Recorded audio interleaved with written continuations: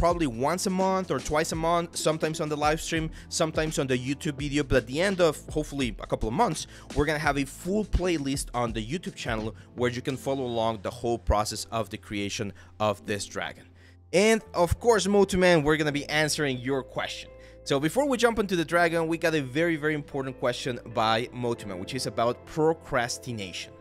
So procrastination, at least for me, feels like a gamble where myself is telling my future self, hey, you can handle it. You're gonna be fine. You can do whatever you want right now, and nothing's gonna happen, right? You can go play games or watch some TV, and it's it's very damaging because you're you're pretty much investing in the future or hoping that the future will solve the situation for you. Now, I saw a tip very recently that was called the procrastination like a uh, solution or something like that, and it tells it tells the following. It says when you're feeling like you don't want to do something like in this case work on 3d or whatever try going somewhere else and do exactly what you want to do but without distractions. So if you're like hey i want to i don't know read a book. Okay go grab your book get in a chair and start reading the book a little bit. But don't have your cell phone on don't get near the computer or near a TV because that's where you get the distractions and you're getting like completely like stimulated by all of different um, all of these different elements and you you just never get bored enough to start working on whatever you need to work. So the recommendation was that try to get rid of as many distractions as possible because distractions are the ones that kind of like get the procrastination going. Another tip that I can give you about that, and this is one that I like to do very often, is if I'm really not feeling creative, like I really don't feel like recording or like doing something here on the computer, I, I still try to find a way to use that time like intelligently and and learn something. Maybe I don't want to do 3D, but maybe I can watch a tutorial or I can read the documentation for a software or I can just look ArtStation for cool stuff and just like have fun learning and seeing what other people are doing. Those kind of activities I would say are more valuable for you as an artist than trying to just like scroll through TikTok or through YouTube like shorts or whatever and and wasting time because that's wasted time. If you have fun, are getting distracted doing something, but it's all related and you're learning at least something from it, then I mean it's not ideal, but it's better than nothing, right? So yeah, that's uh that's one of my advices for procrastination. There you go. TikTok and Instagram are evil. Yeah, yeah, yeah. It's uh, they're very they're very cool tools, and and that's the thing. Everything is a tool at the end of the day. But when the tool becomes a a damaging thing, as Jax is saying right there, that's when we get a problem. Let's see. Comey, I'll, I'll take a look at your model after the stream is done, okay? Because right now it's gonna uh, it's gonna be a little bit difficult to do that. Cleberton, what's up, man? Cool. So let's go over what we're gonna be doing, guys. And um, I was telling you, I was actually thinking, like, what could we do? And and there's one thing that I've never really done as a 3D artist in this 13, 14 years that I've been doing this, and that's a dragon. Dragons have always been Dark Magician, thank you. Dragons have always been very challenging for me, and and I told myself that whenever I do a dragon, I really want to do it the right way. I think the last sort of like dragon that I did was just like a dragon head, and it was what like nine years ago, eight years ago, something like that. It's here on my ArtStation. It was just a quick sketch, and I was actually trying some um some displacement map uh, workflow. It's this one right here. Stone Dragon, seven years ago.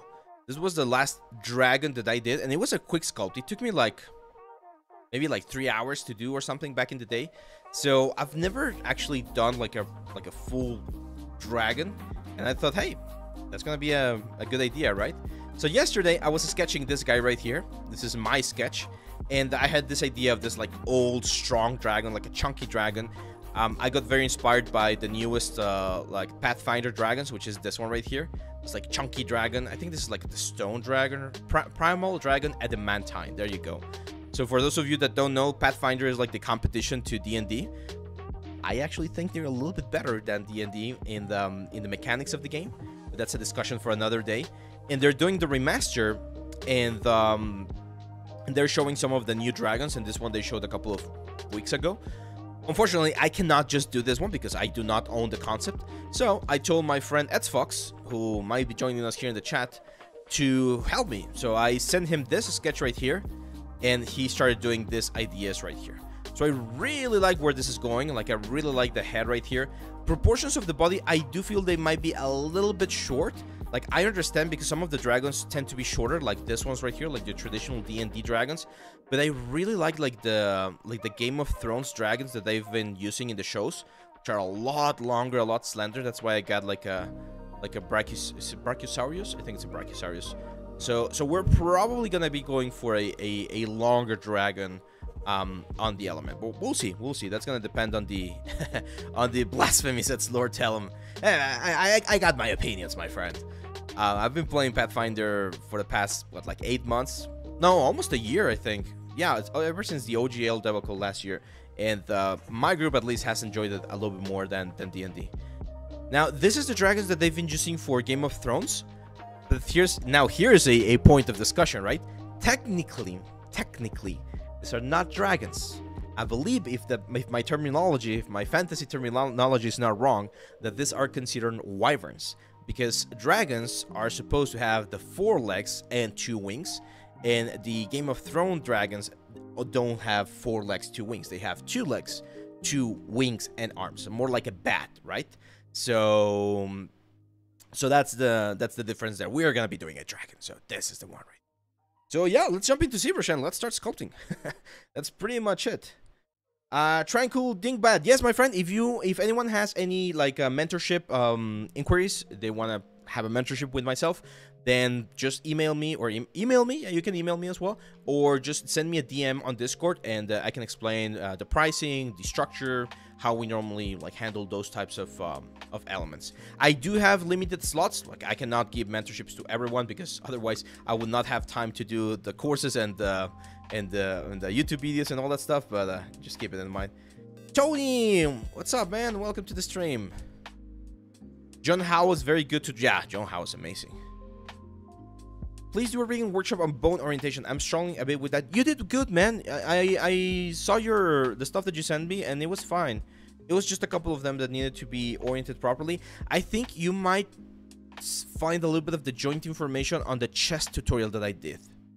There you go. I would love to see four-legged dragons in Game of Thrones. Yeah, right. I mean, I understand why they didn't though, because I think four-legged dragons are a little bit they're a little bit more into the fantasy realm of things, right? And um, and two-legged dragons, they can look, or they look a little bit more, I don't know, predatory or something like that, more menacing. So I, I guess that's why they did that. So we're gonna start today with only the neck and the and the head, like the general proportions of the neck and the head, and based on that, later on we're gonna work on the on the rest of the body. And uh, yeah, so Artful Nerd, what's up, man? All good, all good. My little glove here. Getting hot over here in Mexico. I mean, we had a couple of cold days, but then we get some really hot days. It sucks. Okay. Now, I normally don't like working with perspective here inside of ZBrush. Um, there are some people that say that they like perspective, and what they do is they go to the draw options and they change the focal length to something a little bit bigger, like 177 or something. I mean, it's fine. It really doesn't change that much, but I do recommend not using the default 50 because it's very, very like it gives you a lot of distortion and things do change quite a bit if you use that one. Um, yeah, exactly, Rafa. I, I think that the ones from Game of Thrones are more reminiscent of real life animals and therefore people find them a little bit more easy to believe, maybe. I'm a bit confused. Will the portfolio review uploaded on March 22? I will review it on March 22, Dark Magician. So make sure to submit on the Discord channel before that uh, date so that you don't miss the opportunity. So here, the first thing we need to do is, of course, generate the basic shape of the element. And um, I, I went back this, uh, I was to record a little story for Instagram, but I forgot. I went back this week to university to, to teach. I've been teaching online for a couple of months now, but they asked me to, to go back and, and cover for a class. And um, and one of the things that I was telling that group, they're, they're going through ZBrush, was that silhouette is the most important thing of or one of the most important things in the in the beginning stages of your like production right? The production of any type of uh, character or, or creature. And usually when you're starting any sculpt inside the ZBrush you want to work with big brushes first a very common mistake that I see people make when they're sculpting in ZBrush is they want to jump straight into Damien Standard and uh, and the wrinkles and the details and things like that. When when this basic silhouette is more and more important, like way more more important at this beginning stage. I know there are some artists that that sculpt with very high resolution levels. This workflow is the one that I personally prefer because it gives me a little bit more control. And of course, as you get better and better, you get more experience, you guys are also gonna find which one works best for you. But I feel that this one is a little bit more safe. It gives you more, again, more control over the whole thing, and it allows for a more precise workflow. What tablet am I using? I'm using the Huion Kamvas Pro 13 inch. It's the 2.5K version. There's also a, a, review there on the channel in case you want to check it out. I've been using Huion for the past couple of years, and um, it's been great. I haven't had any any issue whatsoever. There's sometimes some issues with the drivers, but they are usually like quite fast in, in figuring and, and fixing them out. Let's add now where the mouth is gonna be, roughly. There we go. Oh, that looks cool. We're just starting and this already looks quite cool. You should make a demon and stream. I have made so many demons. I'm actually tired of doing demons. I did the demon character, the, the Oni course, the ZBrush course. So if you guys want to learn ZBrush from scratch, that's a great course to start with. And we do a demon, an Oni character. And um, I did a demon a couple years ago for another another company. I worked on the Diablo commercial that I mentioned a couple years ago. So I've done a lot of demons. We're going to do dragons now. No, see, one of the things that I want to do is I want to do an alien. I haven't done aliens in a while. Like Star Wars alien sort of stuff, right? There we go. Now, here's an interesting and maybe um, controversial take that I'm going to do here. I'm going to add the neck, but I'm going to add it as a separate uh, mesh. Why? Because I want to have control over the over the silhouette. Later on, we're going to merge everything. But by adding the the neck as a separate mesh, I should have a little bit more control. Ah, it's not symmetrical. I forgot to turn on uh, symmetry. There we go. I'm gonna have a little bit more control. Uh, I don't like cyborgs. That's the thing. I, I, we all have like things that we like and we don't like, right? And and to me, sci-fi, I always prefer like Star Wars sci-fi, where it's this sort of like grungy, again, kind of medieval fantasy, right? Or, or medieval uh, sci-fi, than um, than true sci-fi. Like Star Trek, I could never get into Star Trek. And I'm not saying it's a bad show or anything. It's just like it's not my my cup of tea. I, I prefer again grungy look and yeah yeah like like fantasy style stuff. But that's not super technological. I, I think technology like when when technology gets involved i kind of like i don't know. I i don't feel as connected to the story do you look at the screen of the tablet? In this one since I'm, I'm streaming and i need to look at the camera i'm actually looking at my screen like my main screen right here. The tablet screen is down here. But i feel like if i do this the microphone's gonna be very far away. So that's why i'm looking straight at the screen. But yeah sometimes like when i'm not uh, uh, what's the word? When i'm not um, streaming i normally uh, look at the at the tablet like at, at the pen display if you plan to break this dragon, should the jaw be sculpted separate from the top of the skull of the creature? Um, no, no. You should actually, you actually do the same thing here. The only, the only thing that you might need to do is open the mouth a little bit. So, so you're gonna keep the mouth like relatively open. I think we had a couple of concepts here. Where's Beerif? Oh, um, well, uh, it's in one of the concepts, but yeah, you, you keep it open so that the rigger can close it. Generally, did you just pull the neck from the head? Yeah, yeah. Generally, I just, I just pulled the head, the, the neck from the head. And in this case just to get a little bit more control. Especially on the next curvature, because this next curvature is where, where it gets tricky with dragons. Because you have like this very long neck that connects to the to like the torso. So again, right now it's gonna be just like a bust. But this connection is kind of like an S shape. There you go. You can see that every single dragon has this sort of like S-shaped neck. Now this one has like chunky neck. But even the chunky neck like this one right here, you can see that uh, there's going to be a little bit of curvature. Of course, like this one, right? So so that's why I, I wanted to control the neck as a, as a separate piece. Because we're going to have this, this thing going back and then towards the front. So it's this this sort of direction right here. Right, that's it. As it enters the the chest area, and then in the chest area, here's where it's gonna kind of like puff out. And again, later on, we're gonna have like the whole body and everything, the wings and all that stuff. But I want to focus on this part right now.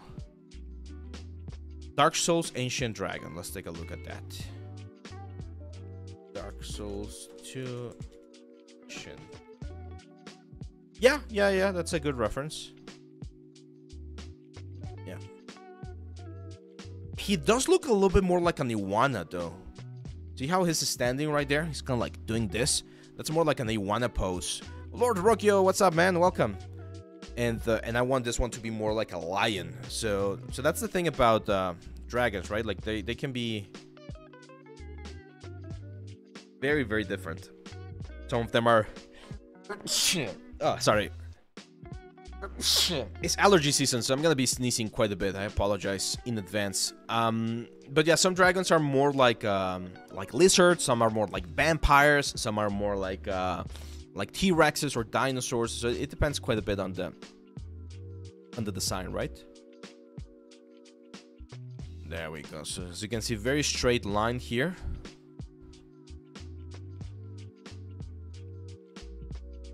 Definitely like a bearded dragon. Yeah, right? Like the Dark Souls one? Yeah. And that's great because if you take inspiration from the real world, then it's a lot easier. Okay, cool. So, uh, following one of the questions that we just got about the, the jaw, this is very important. If you are going to have a character and you are going to rig him and, and do all that stuff, then it is important to have the, the mouth open. And there's a couple of different ways to do it. Um, for this one in particular, I think I'm just going to do it the old school way, which is just sculpting. So I'm going to increase the resolution quite a bit. And then I'm literally just going to start sculpting and dynameshing, sculpting and dynameshing, sculpting. You can also use live booleans, you can use clip brushes. I'm just showing you one of the, again, the old school methods. Here I'm going to use streaming dynamic, dynamesh. And now that we have a good, uh, good like hole right there, I'm just gonna push it back. I know I'm destroying the, the ice, don't worry. We're just gonna push this. We can even just like erase them for now. There we go. And now, very importantly, I'm gonna mask this with mask lasso. And I'm gonna rotate it down a little bit. So that we have a little bit more working area. Later on, I'm gonna do the test of how it closes. But um, but this is pretty much the, the way that we're gonna do it. What's the shortcut you're doing for Dynamesh? Just control and drag outside of the object when when any masking brush is selected, and that will refresh the, the Dynamesh. Yeah, Deadwing was definitely one of the of the big um, of the big uh, influences for this dragon. But this is a good dragon. Story-wise, this is gonna be a, a good dragon. Don't you feel fear when the model starts to look good that it may become bad? Yes, but I also trust the process, uh, Aki. So I know that if I follow the the things that I teach, primary forms, secondary forms, tertiary forms, then things are gonna work fine at the end. So now is the moment, as you can see right here, where we have a good base, right? This is the the very basic like shape of our element. We have a good um, yeah, like a good shape in general. And, and I want to start adding a little bit more detail on the on the silhouette and the bones of the character. And this is where we can use a little bit of comparative anatomy. So I'm going to show you this um, this artist. Her name is Terry Whitlatch. Whitlatch. There we go. She's an illustrator. She's a concept artist. She works very closely with James Cameron for the Avatar films and um, and she is amazing. She knows a lot about creature design, and she creates this very like unique, magical looking creatures with a lot, a lot of anatomy like background, right? So so all of the creatures that she creates are based and and built upon like real world anatomy. I have one of her books. I have this one, should be like back here, and um and one of the things that I see her do quite a bit is this sort of like creatures again, and she does a lot of comparative anatomy, right? Where she compares the anatomy of whatever animal she is trying to create with something that's close to it. So for instance, this one right here, of course, there's a little bit of a triceratops right there, and there's like a cheetah, and maybe like a little bit of a lemur or something, and she uses that like again bone, muscle, and fat information to generate a very believable, very realistic looking animal. So if we look at like the skull of a T-Rex, which of course I think is a very close animal to a um, what's the word to our dragons right here you're gonna see that T-Rexes have a lot of hollow spaces, right? And this is a very common thing, very design, very common design thing in in a lot of like big animals. Since you have a very big skull, it cannot be all solid because otherwise it would be very difficult to to carry, right? So there's gonna be a lot of empty space, a lot of air, if you wish. In all of those areas where there's a lot of empty space, you're gonna see things cave in a little bit. And this is a perfect example. I'm actually gonna grab this one right here. So let's get this into our into our PureRef folder. Because, again, one of the things that you're going to see here is that there's going to be cavities in several parts of the element, and those cavities are what, are going ah, those cavities are what are going to make very they're going to create very interesting shapes on our character. So right now you can see we don't have any of those things. So let's start pushing. So for instance, the eyes, I'm going to push the eyes a little bit closer to the center. We also have our zygomatic arch, which is this one. I'm, I'm not sure if it's still called zygomatic arch, or we're gonna have a big sort of like cheekbone right here beneath the eye. This is very common, again, the design process. Like pretty much every animal right below the, the eyes, there's gonna be kind of like a zygomatic process right there. The nose, there's gonna be a depression here on the nose. And that's the thing that a lot of times, like, and I'm not saying uh, there's anything wrong with this concept. I'm just saying that in 2D art, it's very difficult to see these 3D volumes. And that's what separates us 3D artists from 2D artists sometimes that we need to understand shapes in three dimensions right so so we need to understand not only length and width but also depth of the objects to generate something uh, interesting so for instance here we're gonna have of course the eyebrows and then I can see like a big hollow area right here. So I'm just to carve a little bit right there. And this, again, hollow areas are very, very, very cool to generate the visual interest in our in our creatures. Same on the cheekbones here. Well, the jaw is usually a very strong bone. You can see it right here. Like, the jaw is very solid. Like, very, very, very solid. So you're not going to see too many holes. So, so we got to keep that into account as well. But that's like all of these things that I just said, my friends, and hopefully I didn't like made this way too boring. But these are the things that where I think AI is, is gonna take a while to understand because it might be able to replicate this, but it's not the same thing as uh, as understanding what we're doing and why we're making uh, the decisions that we're gonna be making. Now, um, a technique that some people like to use, I'm, I'm not a huge fan of it to be honest, but some people find it useful, is the écorché technique, where they would build or create the skull of the character first, and once they have the skull of the character kind of like defined, they start filling it with muscles and things like that. I mean, it can work. I'm not saying it's not it's not valid. Uh, I'm just saying that I personally don't uh, find it as useful. Now, I think he has ridges here on the on the center as well. So, so right around there, changing the silhouette a little bit. You can see all of those spikes. So those are going to be bony protrusions, right? Whenever you have a, a, horn, a spike or something, it needs to be anchored to some other uh, bone. Like you cannot have a spike or a horn just like stuck to the muscle. That does not make sense. It always has to be, um, it always has to be anchored to a, a piece of, uh, a piece of bone. Otherwise, it's going to be flimsy and it's going to break. They did that, the écorché, yeah, and they need to do. sorry, they need to do that for big productions because you're going to be using uh, softwares like Ziva, which is the the muscle deformation system, um, to deform everything exactly as as it would in real world, and therefore, yeah, they need to have like the exact muscles, the exact everything. Now, I'm going to start doing just very basic teeth right here. So as you can see, he has like two big fangs right there. He's got two ones right here. And a, a, secret, well, it's not a secret, but a, a, a, detail that you need to keep in, in consideration when, when doing any type of animal is if you do things very exaggerated, it looks cartoonish. Okay, so you're gonna start looking cartoonish, you're gonna start looking stylized. So we're gonna keep things a lot more realistic and therefore elements like the eye, for instance, if I keep this big eye right there, which is a very common mistake, right? Well, not mistake, but very common decision that someone might make. It's like, oh, I like that hole right there. I'm just gonna grab this sphere, and I'm gonna make the sphere really really small here on the eye and if you do that the problem is that this eye right now is gonna look very big like it's a huge eye right And even if I eye the eyelids and everything, it's a huge eye. It's gonna look very cartoonish. It's gonna look more like a video game. And I want this to look a little bit more realistic.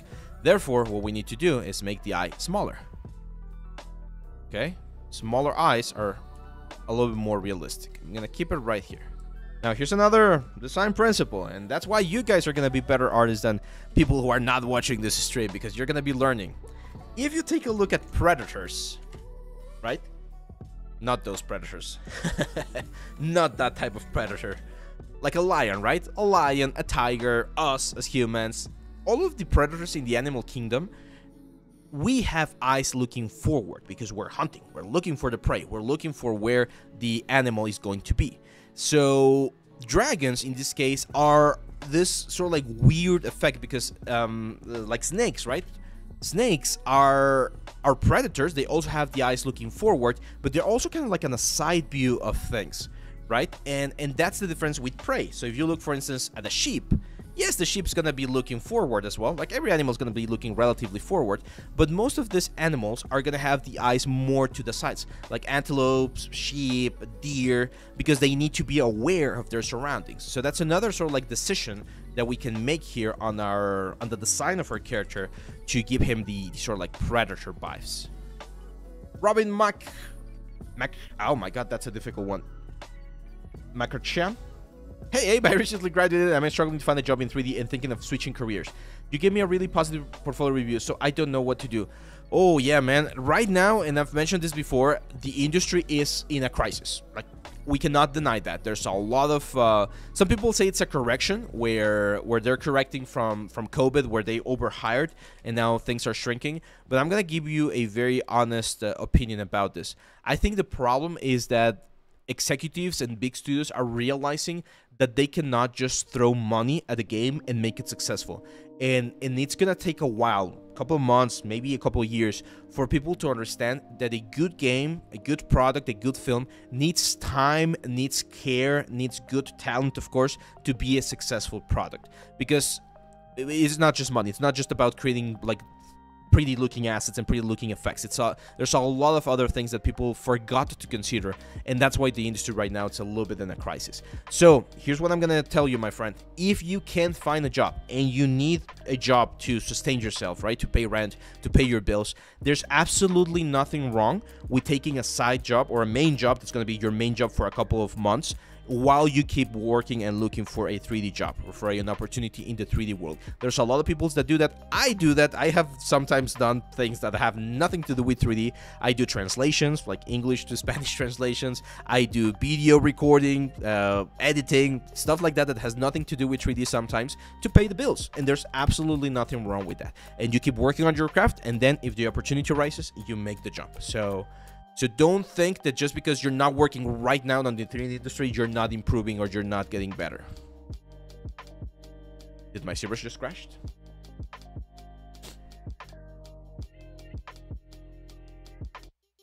No, Jana, I have not tried Ziva because I don't do a lot of rigging. I mean, I, I know rigging. I've taught rigging. I teach rigging every now and then, at least the basics of it. But it's not something that I do as part of my main um, as part of my main effect. The horror? What's the horror? Like not finding a job on the on the 3D industry. Also, another advice, and this is not only for Robin, it's for everyone. Guys, there's a lot of other opportunities, 3D related opportunities in other film in other areas. Like I have a couple of students that right now are doing VR experiences for the manufacturing industry, like safety games and safety guidelines that they need to follow when producing car pieces and stuff like that. Of course, it's not the next Halo, right? But they're still using 3D, they're still using Unreal Engine, they're still using virtual reality, so things like that. 3D printing is another big market. Um, what else? Um, architectural visualization or renders is another big market. Product placement, so there are other options. My my advice has always been keep your mind open for all of those things. And and here's another one, Robin. And, and you might be in a fortunate situation where you can actually do this. I don't know your your life experience or your life situation, but I know there's a lot of people, for instance, that um, are still living with their parents, which is perfectly fine. I lived with my parents until I was 26. There's no reason to move out if you don't have to. Of course, as long as you help them and support them as well. But the thing is, if you have the option to say, hey, I got maybe two or three months left before I really need to get a job and, and start paying the bills, right? I maybe have something saved up. You might want to try doing your own stuff, like maybe create a model and sell it online. Maybe, I don't know, um, go to a local, like offer your services as your own little, like, studio, right? It's just you and your studio. But you could go to a local shop and be like, hey, I saw your socials. What if we did some collaboration? I'm gonna do some 3D animations for you, and um, and then we work on a commission base. That's a little bit more on the entrepreneurial side of things, right? But I know some people have found a very good success on those sort of stuff as well. There we go. So that eye, as you can see, guys, now that eye is looking very, very nice. Let's grab a little bit of space here. Now, all of those spikes that I'm seeing there, I'm to have to decide whether I'm to do this as, as insert meshes or if I'm to be, um, what's the word? Or if I'm going to be sculpting them, like manually here. Maybe with, I, I think sculpting is probably to be the best one. Now, one thing that I'm definitely seeing here is that he's very straight. So I'm to push the jawline out. That's also going to give him a, a way sharper, more aggressive sort of look. Trim dynamic here. And yes, Lord Tellum says, a job is a job, guys. Every job is is honorable and valuable. Don't let anyone tell you otherwise.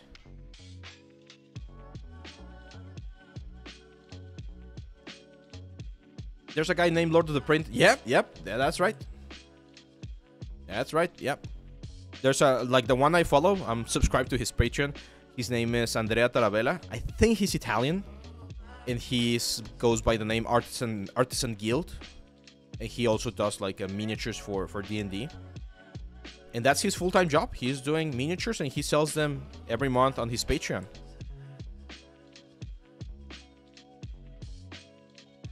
Yeah, courses are doing great. If you guys haven't seen, we released the last one last week or two weeks ago. That's the um, that was the substance painter course, and I'm working on the on the retopology course right now. Uh, Sarn here is gonna link the the site real quick for all of you newcomers that are here new to the channel. If you want to learn a little bit more about this in a more structured way, not as free flow as, as, as this stream, then uh, the courses might be the best place to go. Topogun course next week. It's probably gonna be ready next week. It's a short course, so so it's not gonna take me long. I'm already in chapter. Um, I think I'm starting chapter three, so so I'm. It's probably gonna be next week. There's just one variable that I'm uh, I'm dealing with right now. So if if I need to make a small trip that I really don't want to make right now, that might delay things a little bit. But yeah, Substance Designer. Oh, I don't I don't use Substance Designer. I'm not the best guy. There's there's some really sick artists on ArtStation that can probably teach you uh, substance designer designer better than I can. There you go. Sarn just linked the, the newest course. That's the Substance Painter course. We do see a little bit of Substance Sampler on the other one. Hakan says, I learned about Maya thanks to you, my friend. Thanks a lot. Now I prepare a case after a job interview. There you go. Real-time feathers. Rashid, there's a couple of ways to do it my advice is use a plugin such as Ornatrix. It's a paid plugin, unfortunately, but it's really, really good. Ornatrix or Yeti, maybe even XGen, although I haven't done feathers with XGen. Ornatrix and and um, and Yeti, they have presets for for for feathers. Now we have a decision to make here, guys, and tell me what you think. We need to do the horns, these big horns right here think they should be separated. I know some dragons kind of like blend their horns in, but I think that one should be like a separate mesh. Like the transition is going to be a smooth transition, but I think it has to be a, a separated mesh. What do you guys think?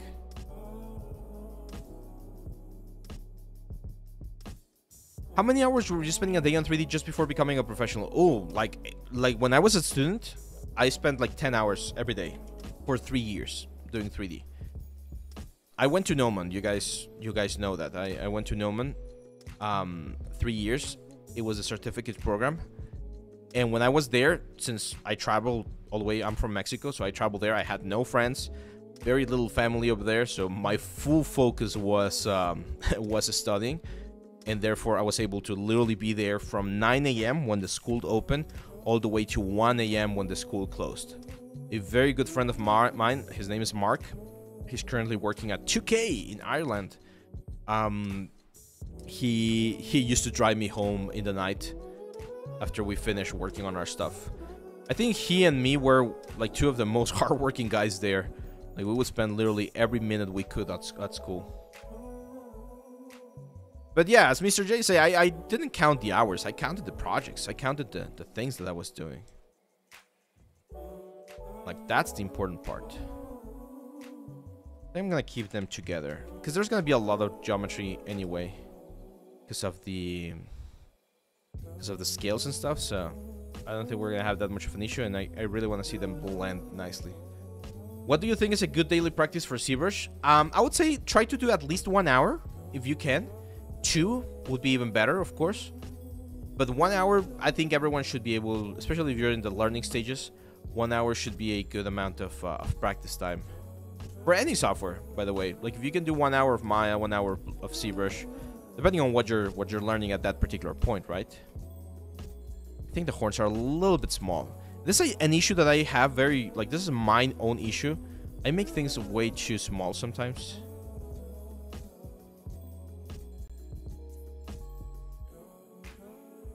So let's fix them there a little bit.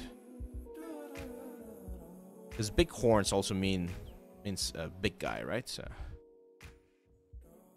we of course need to fix all of that. Like, oh, okay, this is a very common mistake, right? You do this and then you get boom, this freaking matrix glitch or whatever. Just go all the way here to geometry, modify topology, and then um, there's one called close holes, and we use that one. And then when we dynamesh, as you can see, it works way way better. So that happens when you have some sort of like negative space or negative areas.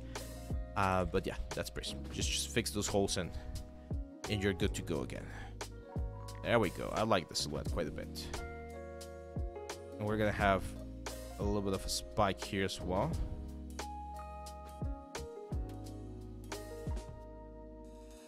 Hey, if there's a lot of discussion regarding AI and how AI is going to replace artists. I know you must be getting these kind of questions a lot. Yes, quite a bit. As a person who's learning 3D and trying to get into the industry.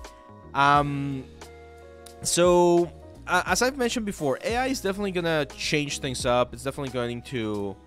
What's the word? It's definitely... Yeah, the inflate brush is, is great as well, Hudson. Um, AI is, is to change the game, if you wish. But as long as your skills and your craft are good, the thing with AI is that it, or rather the thing with the type of work that we do is that our type or our line of work is very change driven, right? So there's a lot of changes and a lot of requests and things like that. So it's not like you can generate one prompt or one element that's just going to be perfect. So either you're going to be fixing a lot of things that AI creates and and therefore AI becomes kind of like the first step for some of the pipelines or you're just going to do it from scratch. You're going to use AI as a reference, as an idea, and then you're going to use that uh, or you're going to do it from from scratch. Let me use the snake hook here.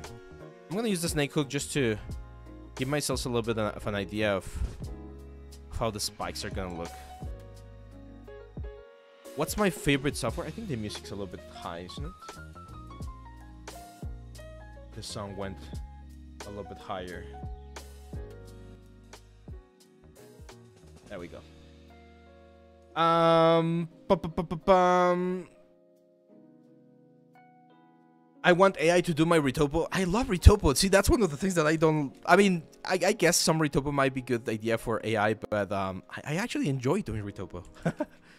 I I like it. Uh, what's my favorite software? I would say ZBrush.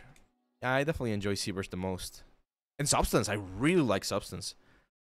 Did you guys see what I did with the dwarf on the on the course? Like, I was really happy with the with the result there.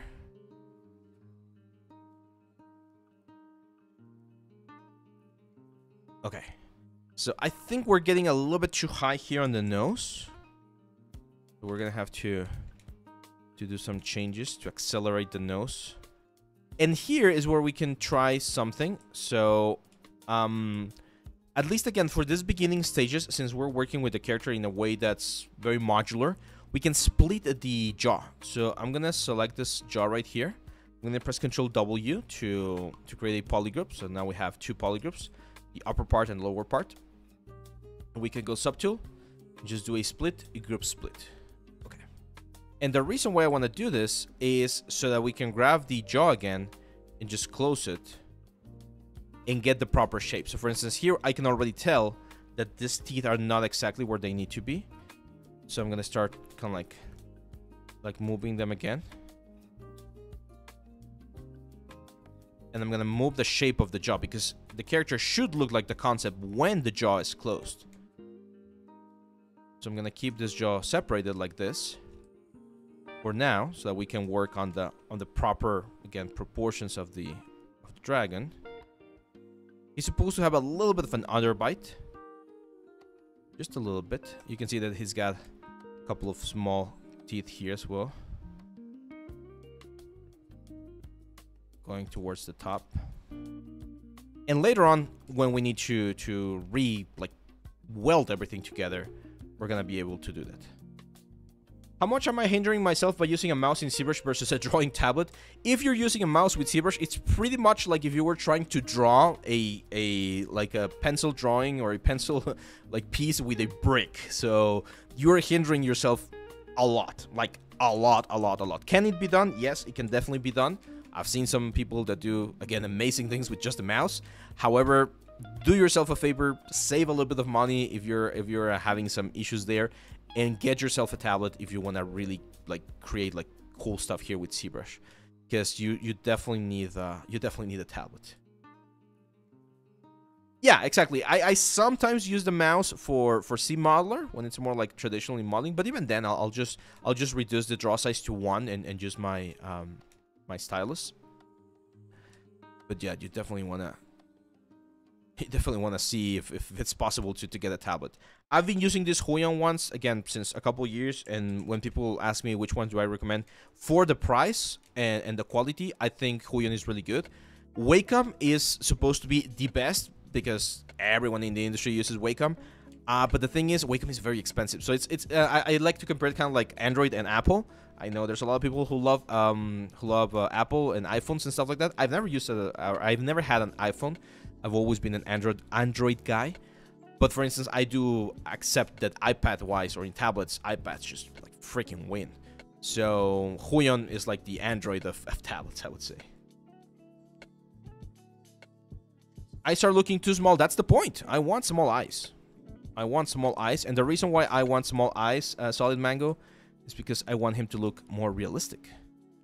So if we have small eyes, then when you see him as a character right here, it's to look like a freaking big dragon. If you see uh, big eyes, then it's to look like a small dragon. So that's why also the size of the eyes is, is very important. And you see that in like the new Godzilla movies. Like the eyes from Godzilla, very small. Because he's huge. Himanshu, I'm doing great, man. I am doing great. Now here what I'm doing guys, um, I know I, haven't been talking a lot about the process, but I'm doing a lot of cleanup. So I'm using clay buildup to build up form, and then I'm using trim dynamic to clean up that form. That way I'm not uh, generating this sort of like mashed up clay and it starts looking, you know, a little bit cleaner. Because all of this base, I always like to use the analogy of the of the cake, right? So if you're if you're baking a cake, you can have the most amazing, prettiest looking like uh, uh, fondant and uh, and decoration. But if the base, if the if the bread of the cake sucks, then it doesn't matter how how amazing your your decoration is. No one's gonna no one's gonna want to to taste your cake. So so that's what I'm doing right here. I'm I'm cleaning the form because on top of this form is where all of the scales and all of those elements are gonna be located.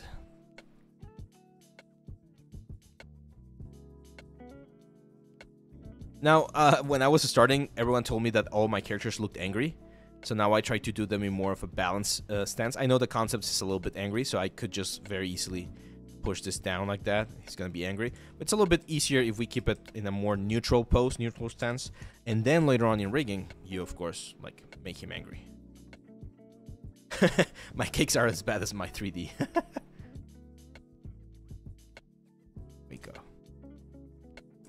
Now here, let's extract the teeth because I think I think having the teeth as separate elements is going to be better. So what I'm going to do is I'm going to do a very quick carve here. These are like four of the main teeth. on the front here, I definitely want some teeth as well, but I'm going to do them as a, as a separate element. You're going to see how in just a second. So here's a here's a trick. What I'm to do is I'm to mask out with mask pen.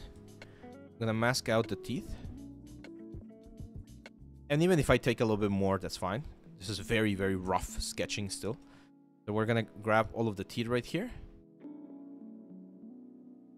That. There we go. And we're to press Control W again. It's to give us another uh, polygroup. Then let's select that guy. Invert, Control W, so all of this is a single polygroup uh, uh, again. And then just a split. Group split. Hit OK. This one is going to become the sort of like the gums, right? So as you can see, we have the exact same shape. And this ones are going to become the, the teeth.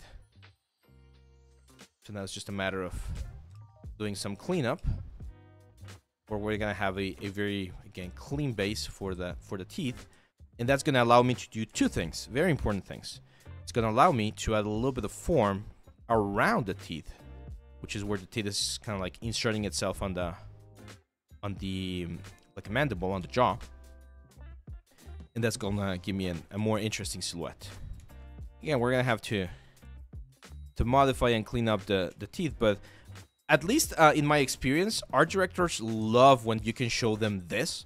Like if someone tells me start working on this dragon and I show them this by the end of the day, they're going to be like, okay, cool. Now make this change, this change, this change, modify this, modify that, because it's easier than than if I just focus on, for instance, on the eyes and I do like a perfectly like finished eyes. It's not gonna, it's not gonna work. Are you going to rig this dragon?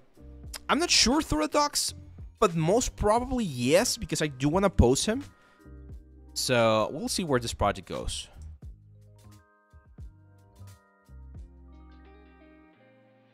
Sharpen the nose there a little bit. Make it kind of like a like a horn.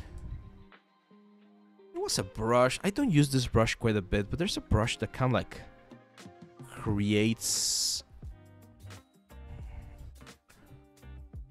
like these are like tongue looking shapes. I mean, we can just use vector displacement. So this is a very cool brush. Uh, if we go here to chisel creature, we're gonna have this one scale one, and this one's very good to to generate like the scales. So you can see that we have a lot of like small scales right there. And, and there's a new type of brush. Well, that's not new, but they added this a couple of versions ago, which is this drag stamp. So you drag it, and then you you modify how how intense you want the the element to be. So the size of the brush is gonna determine the size of the scale and then you you kind of like push it or, or push it in or out depending on on how how intense you want that that effect right? That's a it's a relatively easy way to to add this detail. And vector displacements as we know they they push things up and down. So they're gonna allow me to to generate that change in silhouette which is exactly what we're seeing there. And i'm not saying these are gonna be the final um what's the word? These are gonna be the final scales. Like I might do a different scales later on, but at least as a as a little like idea of how things are looking, it's a good it's a good way to again to show this to like an art director and be like, hey, do you like the direction of this character right here? Can VDM maps be exported as PNGs? Yes, you can grab this one right here like this alpha and export it as a, as a, as a PNG.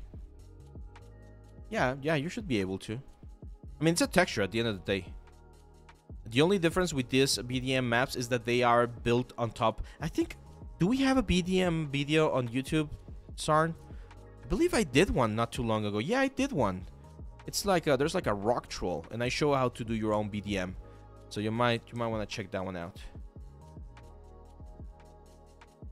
I mean, it's for displacement because they, they displace the geometry, but that doesn't mean that you can't use them for, for modeling, like, like here, for instance. So as you can see here, I can very easily just start displacing the geometry. To get an idea, again, these are not gonna be, probably not gonna be the final, the final meshes of my, of my element. But that doesn't mean that we can't use them, and it's already changing the, the silhouette of the dragon and giving us a better idea of how the character is to look. Remember that that's the main sort of um, the main idea behind these early stages of, of any any creature that we do. We want to make sure that whoever is seeing this, our client, our art director, the audience even, there are some studios that like to share updates with their with their audience and they'll they'll give feedback on, on what they think looks good or not. So we want them to to see the idea behind this whole thing. Doing retopo of this guy is going to be a task, not with Topogun. Topogun is really fast. I've been using it quite a bit lately, and it's uh, really, really impressive how, how fast you can work. And a lot of that, that's why I'm also separating the teeth, because if you separate the teeth, it's very easy to, to retopologize. You didn't even need like clean topology. You can just be very basic uh, Z-remesher, because those elements are not going to deform. They're going to move, but they're not going to deform. They're always going to be like a solid object, right? So you can keep them as, uh, as a solid object. Now, here's very important. We, we do want to create a little hollow area of where this teeth is kind of like like pushing against the the jaw right there. It's a little bit more of a tertiary detail, but it's very very important to to keep into account. Can you show in sofa patterns how to do in Maya? Uh, nowadays, uh, Palakurti, most of those things we would probably do with texture. Like, it, really makes no sense to model that when you can displace it. So there are textures inside of um, Substance Share and Substance 3D assets and things like that that you could use to to generate that effect. Also, it's it's sometimes easier to sculpt those sort of details inside of ZBrush. And, and that's one of the important things about um, it's one of the important things about the the 3D world. You need to understand that there are tools specifically made for specific things. So when people tell me, "Hey, show me how to do cloth inside of Maya with with nCloth," right? We don't use nCloth anymore. If you're working on a big production and you have the budget to to buy a couple of licenses or rent a couple of licenses, you're gonna be doing your simulation instead of Marvelous Designer, right? Because it, it makes just no sense to use an inferior tool when there are way better tools out there. So you gotta be very, very mindful of uh, of where you you do that. First, what's up, man? Nice to see you again. What do you mean, nice to see me again, dude? I've been here every Friday. Or did you miss me from from other places? Because I've been here for the past couple of months, man. I've not gone anywhere. Some people think I stopped YouTube because I stopped working on the other channel. But no, I'm here.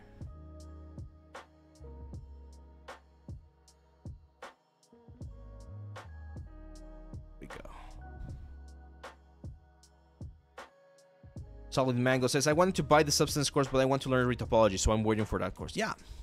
It's gonna be out very soon, I promise. We got some cool surprises with that as well.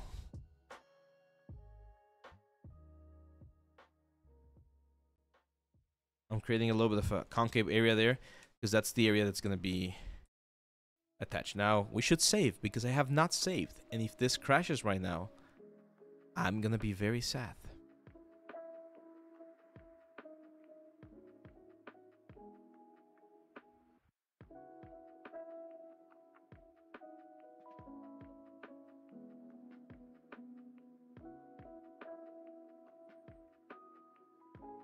I always like to save versions, so this is going to be 001. The Substance course goes much more in-depth in Substance compared to the Blend. Yes, like way more, my friend. Like way, way, way, way more. In the sub in the Blender course, I just like barely grasped like the basic surface of the whole thing because it just it, it was a Blender course rather than a Substance course. And it was funny. We actually got a hater. Oh, you guys don't know how much a, a review can affect us, but we got a hater on on Udemy that gave us one star review on the Blender course because he said that he found it uh, very what was his wording? He said like it's very dishonest. He said it's very dishonest that they sell this course when they tell you it's a blender course and you're gonna be using substance. An interesting thing is on the description of the course and on the intro video, I do mention that we're gonna be using substance, so it was not hitting anywhere.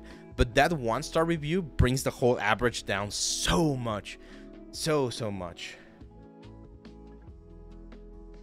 yeah that was it i didn't know you had created your own channel so i was waiting for new content there i discovered your channel last week oh there you go first yeah i i, I uploaded a video on the other channel explaining my exit and and um and what was happening but they took it down so unfortunately a lot of people Still haven't found the new channel or the new Discord. If you're not on the Discord first, make sure to join as well. So yeah. How do the pros make hyper realistic eyes? What program do they use and what's the workflow? You mean, uh, well, it, it's mostly rendering. So it mostly has to do with rendering, but you can sculpt like the iris and the and the retina and everything here inside of, of ZBrush. There's usually displacement map involved, and and the thing that makes eyes very interesting is the amount of layers that you add to them. So you can have your basic sphere with just like an eye texture, and that looks good. You can have your basic eye and then a, a like a layer on top of it that's gonna act as glass and it's gonna distort it. That looks better.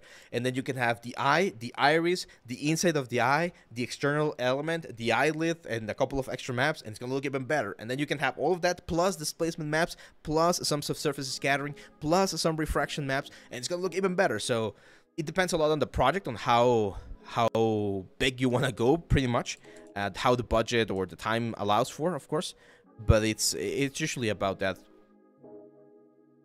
i think did i do an eye tutorial i'm not sure if i did an eye tutorial can you talk about your thought process when doing secondary forms? Yes, of course. So when doing secondary forms, for instance, on this area, right? Like right now, this is a very empty area. It's just primary forms. So I need to think about what's going on. In in anatomy wise or when you think about characters creatures and things like that you need to think about okay what forms are there underneath this thing?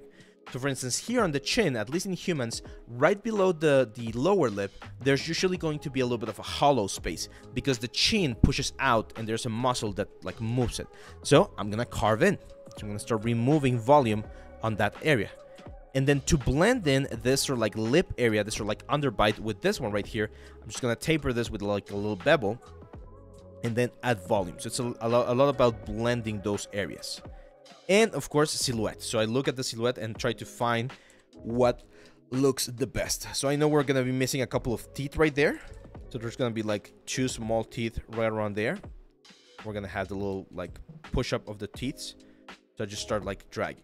So secondary form is all about, again, like cylinders, spheres, cubes, and how they push the surface in or out.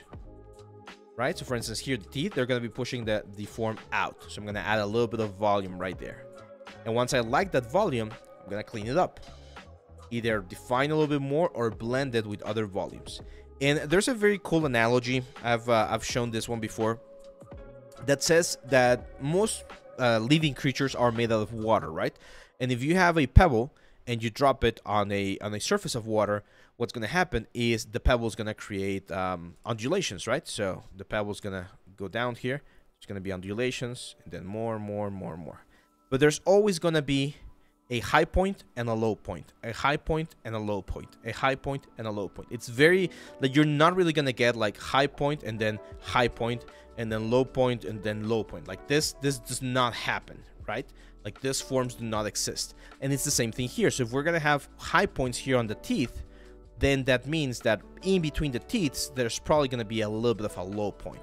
So it will be very weird to have just like two high points, uh, like one next to the other. Can you make belts and that kind of? Yes, yes, you can. Actually, in the Blender course, uh, in the Blender, in the Marvelous course that I have, we do a couple of props that way. We do gloves, we do a belt, a very simple belt. We do a hat. that that one's a funny one. It's one of the last parts of the process. We do a hat for the for the character. So yeah. Now here's important. Look at the concept.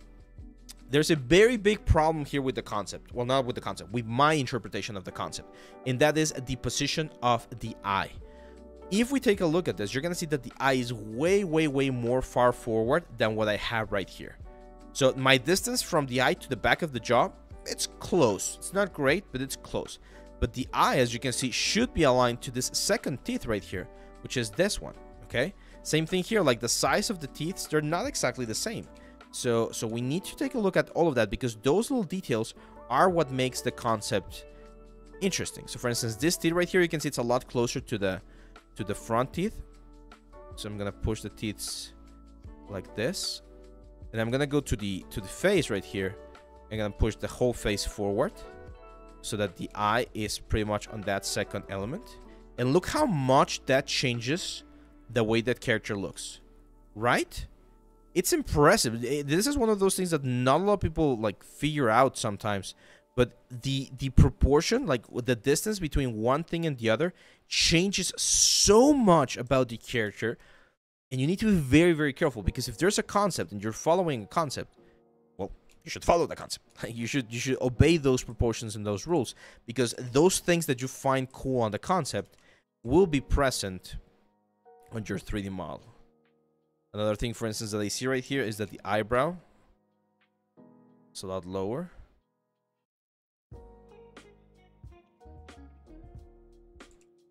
something like this. Right? And now the character has changed a lot. And it was just like we just changed a couple or a bit or yeah just like small little things small little elements in proportions. And this is a completely different character. And i'm gonna show you. Let's save this too. It's dragon 2 and let's open dragon 1 look at the difference. This was dragon 1 and this is Dragon 2. It might not look like that big of a difference, but it is a lot different. Yes, it looks more natural, right? It looks more like a like an animal. So a little bit more realistic, I would say. This one was still looking a little bit too cartoonish, I think, because he had like a very long like uh like nose or something.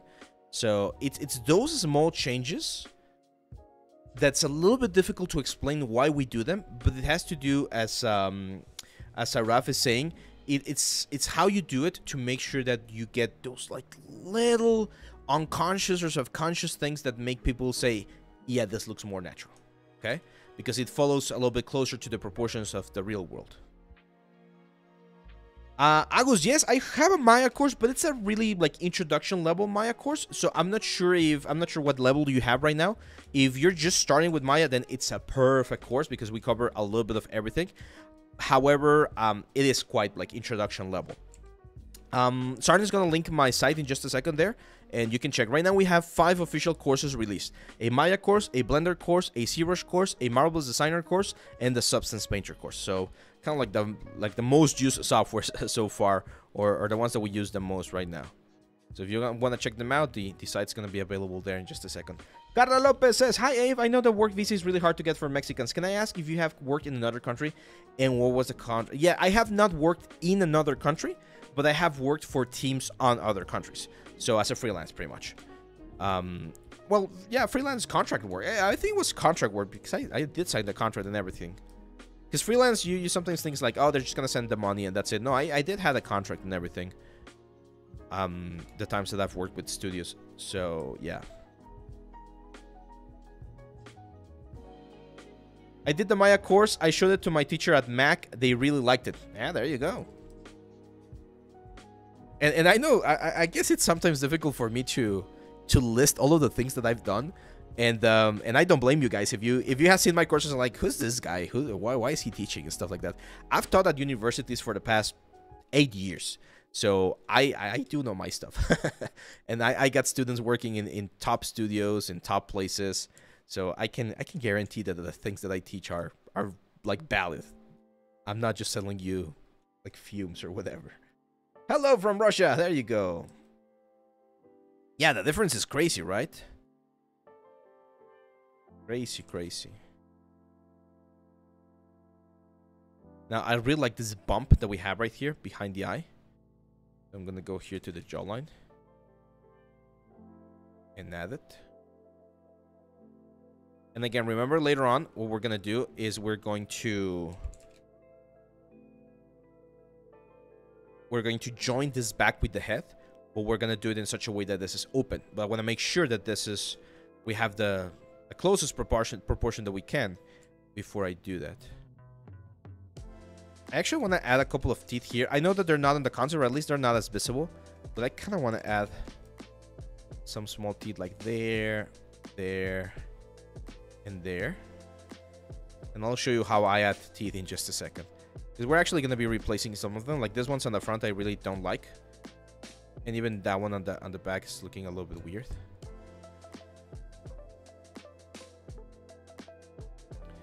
Have you... Ameth, are you really asking that question? Have I played Monster Hunter? Dude, I'm a huge Monster Hunter fan. Like, huge, huge, huge. Me and my brother, we're like duo we always play together. he's way more. oh, he's way more a fan of, of Monster Hunter than I am. He he even has like the hammer tattoo on his on his arm. But uh, yeah, we played like everything. We played Rise, we played Sunbreak, we played. We started playing on on the 3 on the was it DS? No, 3DS. It was uh, Monster Hunter 4 Ultimate. That was the first one that we played. And then since then, we've pretty much played all of the all of the games. We're really happily waiting for uh, Monster Hunter. Um, uh, what's the one called? Wilds, right? It's the next one, Wilds.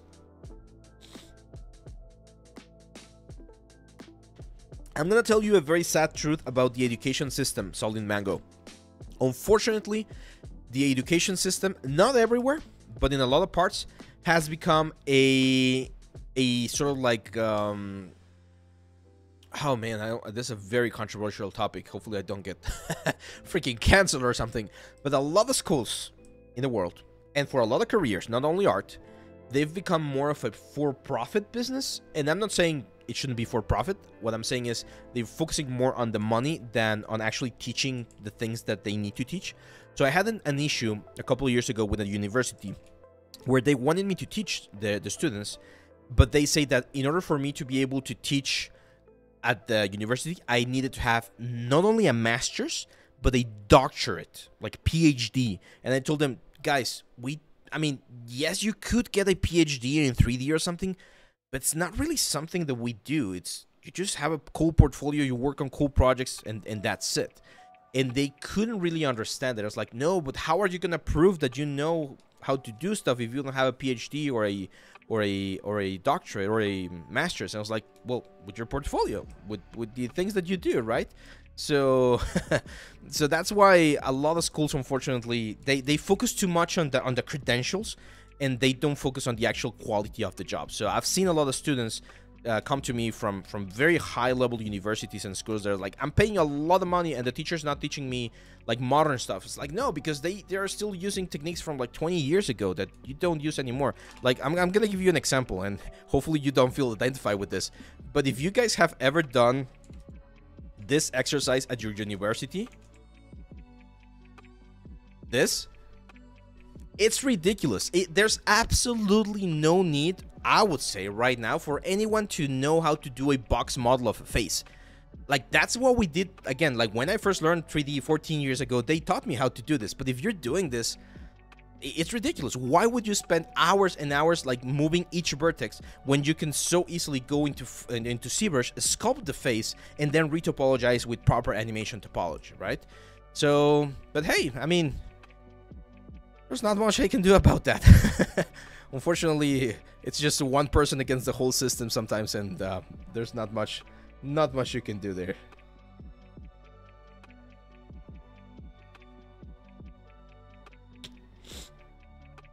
Soham says, Hello, hey, first time joining your live stream. Love the way you explain everything, man. You make it really easy to understand. Ah, thanks, man. I'm glad you like it.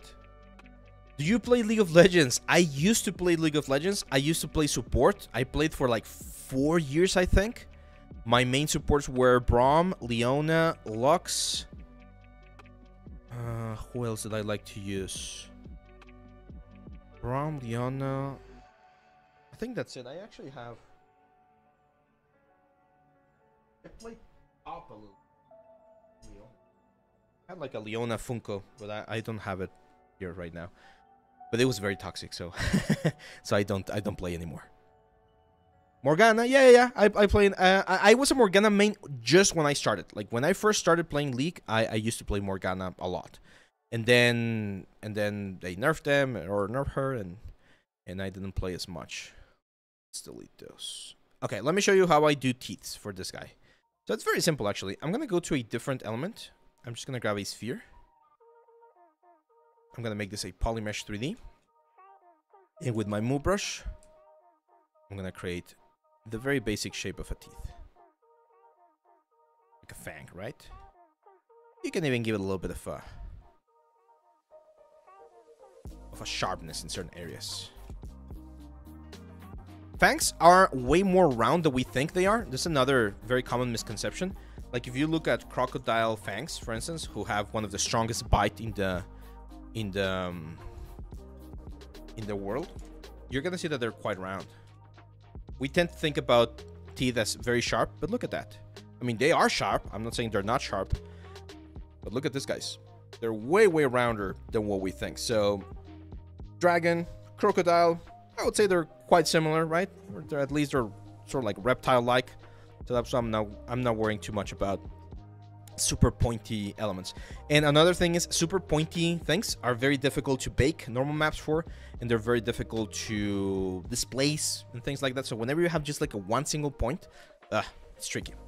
Now I'm gonna go to this view right here. I'm gonna say V. I'm just gonna create an insert mesh, and that's it. So by doing that, now anytime I need a, I'm gonna append a new sphere here.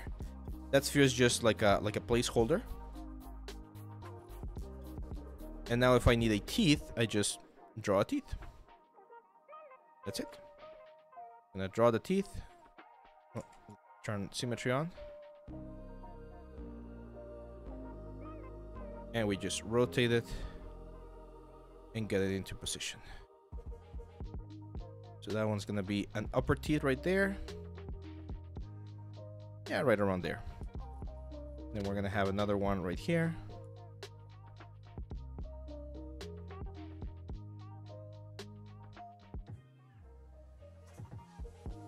Usually the direction of the teeth is forward, right? Because we want to bite and take a chunk out of whatever it is we're attacking or, or biting.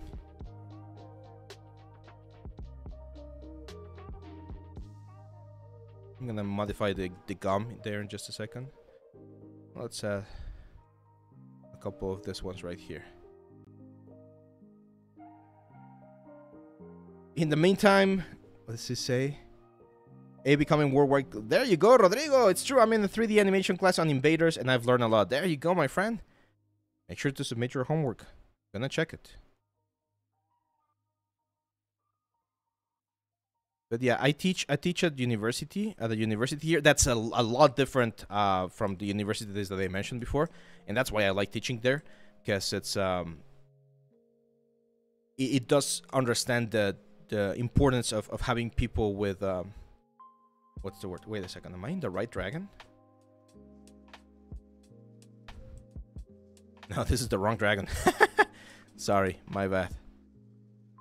I was in Dragon 1. Because I, I, already erased this. I was like, what the hell? So yeah, that's why it's, why it's very important to... But I'm going to be very honest, guys. Even even I, I went to Gnomon, right? I, have mentioned this before. And uh, of course I learned a lot but I also learned a lot from my own stuff. Like I I I graduated in 2016, so that was eight years ago.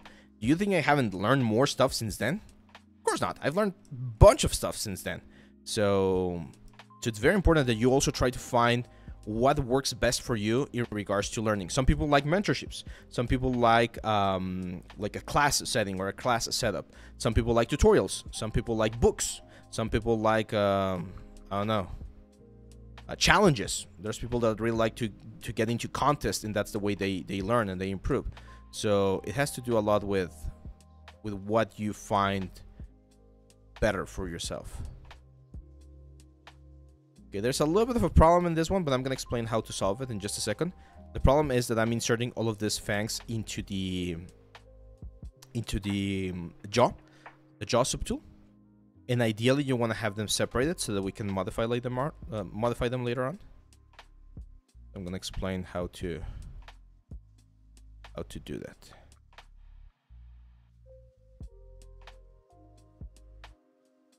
No, no, no. I did not uh, participate on the latest one, on the Punishers one. I did saw it. It was the walking thing, right? Like they're walking on top of a tower. Uh, amazing stuff, and it was a fun. It was a fun prompt. Uh, but I was very busy, like finishing the, uh, what was it? The um, uh, the substance course, so that's why I couldn't participate in that one. There we go.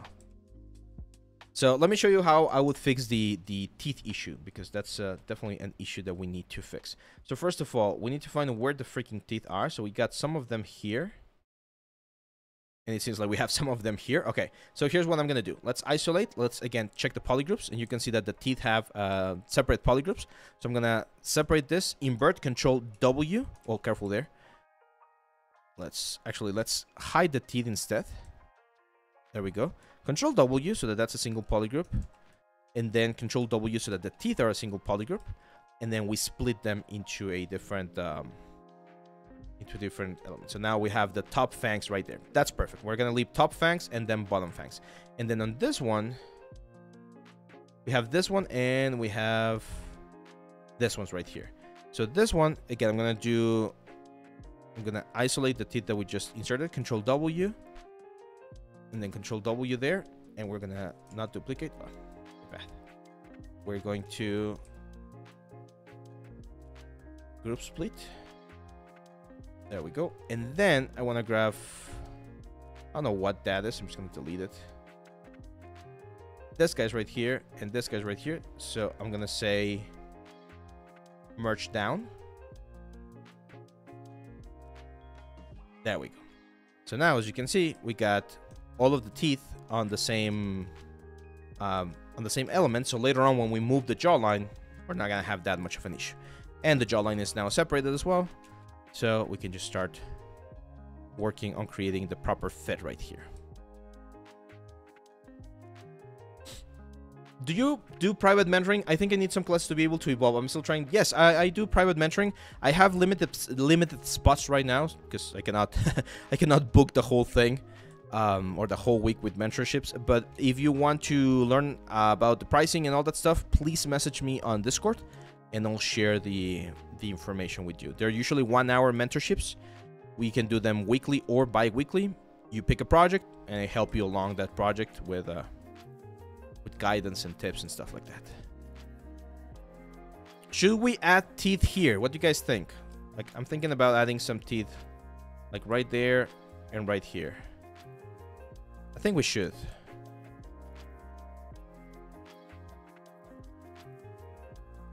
Let's go.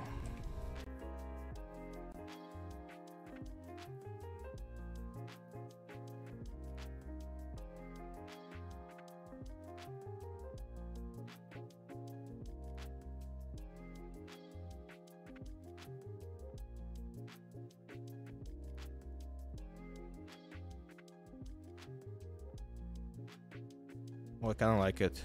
Like a little bit higher up there.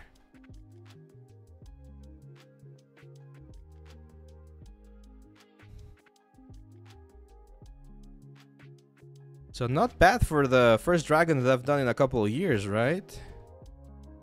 At least for the amount of time what, what, what, we've been working on this for. Wait. Yeah, like an hour and a half. What time is it? So, well, time flies when you're sculpting. There you go. Nida, what's up, man? Welcome. It says, I swear if I would have found you before, I would never join Mac. I would have done one-on-one sessions. Oh, okay. Well, here's another thing, Solid Mango. There is value to schools, and I'm gonna explain why. Because that's another, that's another thing that people sometimes misinterpret with uh, with what I'm saying here. I'm not saying that you should not study and you just buy tutorials and, and do that and, and not go to university or college or whatever. It's it's more about the fact that some colleges will not give you the information that you need right now and that's where your responsibility is. You need to find that information. But there's a couple things that universities do teach you and do give you that's very important. First of all connections okay you you will get connections. You will get to know teachers. You will get to know other students. And if you're doing this as a self-taught artist that sometimes is very very difficult to find. Unless you're very extrovert and you go to the communities online and you post and you share which a lot of people like most of us artists we're not very like that. We're very introvert. Um, you're gonna have a little bit of a hard, hard time finding opportunities because that's one of the things that that colleges and schools will give you will give you access to to connections that you will not have otherwise and another thing is they do teach you responsibility, time management, organization, teamwork. Again, skills, those are soft skills, right? That are a little bit difficult to learn by yourself working on your home. So I'm not saying schools are not valuable. I'm just saying that sometimes, especially in regards to outdated information, you will need to find that information on your own through different sources. That's my that's my conclusion there. Or my opinion rather. Control W sets a polygroup on what's visible. That is right. That is right, Wargles. When you press Control W, whatever is visible will get a polygroup. It could be masked, or if you have something that's masked and you polygroup that, you will get a, a polygroup. The hardest part about school is having questions about how to do certain things, then being told we'll learn that in a different semester. I, I hate those teachers. I'm not one of those teachers. Like when people ask me, "Hey, teacher, how do you do this?" If it's very, very complex, I'll just give them a, like a little bit of, a, of an insight. Like people asking me, "How do you muscle systems?" Oh, I, I won't be able to teach you right now, but there's this software called Ziva VFX. You might want to take a look. You install it into Maya, and there you can generate like something that you're looking close to what you're looking for. But no, I, I I um, actually have a very open policy with my students where I tell them you can ask me anything as long as it's not like personal life stuff. You can ask me anything about the 3D world, and if I know the answer, I'll tell you. If I don't know the answer, I'll also tell you, hey, I don't know, but here's where I would start looking for. Because questions are the most important thing when, when you're learning.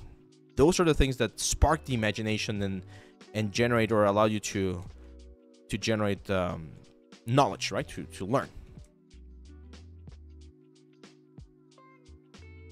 Yeah, Sandra, I, I understand, and, and that's the thing. Like 3D has becoming has become bigger and bigger in the world because it's been applied to a lot of industries. So there's gonna be a lot of people that sometimes they are and here's the thing sometimes it's not fault of the teacher i got a message not too long ago about the teacher that told me hey i'm taking your 3d maya course because the school where i teach at they are forcing me to teach 3d and i don't know anything about it uh, i mean forcing might be a, a strong word right but they're telling me that they really need someone to teach 3d and they're asking me to do it so i need to learn and and and that's it and of course i cannot go to that school and teach it's it's really not viable so there's going to be there's always going to be someone that might be a little bit new to the 3d world but as long as they put in the time and the effort anyone can learn and uh, and become great at doing these things